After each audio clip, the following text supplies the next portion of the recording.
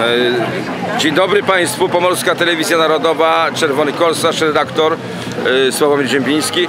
E, ja tutaj spotkałem w Gdańsku, bo mamy jarmark dominikański, zapraszamy oczywiście na jarmark do Gdańska. Tutaj jest Neptun.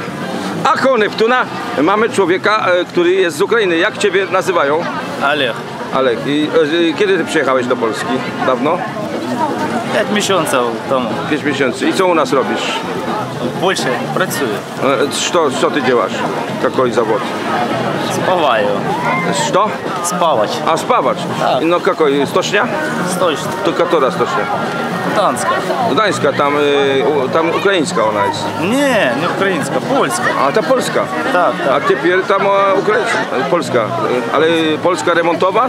Ну, польська Remont, ремонтова. a remontowa to tam Piłsudski, Piłsudskiego.